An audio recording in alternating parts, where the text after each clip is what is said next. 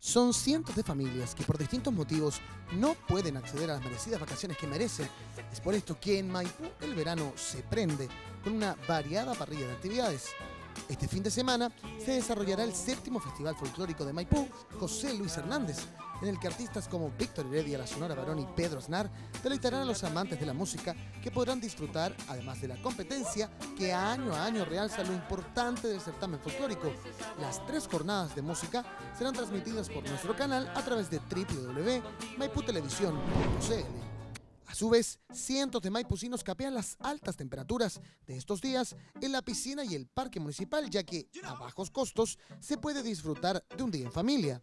Iniciado febrero, la cartelera teatral más destacada de la última temporada llega al octavo Festival de Teatro en Maipú. La invitación es desde el 1 al 5 de febrero, desde las 21 horas en la Plaza de Maipú. Ahora, si tus intereses son de otro mundo, el segundo encuentro ufológico dará cabida a la conversación del fenómeno ovni entre los días 15 y 16 de febrero. De ingresar a clases, universitarios y escolares se encontrarán en la tercera fiesta Electro Summer que se desarrollará el 2 de marzo desde las 17 horas. Si entre tanto panorama aumentó tu apetito y la sed no te deja tranquilo, entonces la primera feria gastronómica y de cerveza artesanal de Maipú, que se realizará del 14 al 17 de marzo, es la indicada para despedir el verano como corresponde.